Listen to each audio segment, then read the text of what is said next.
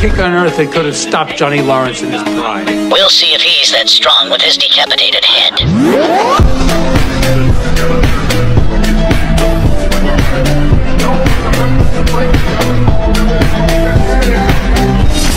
Sweet to lick.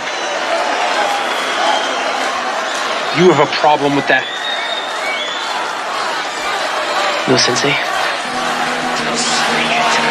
No mercy.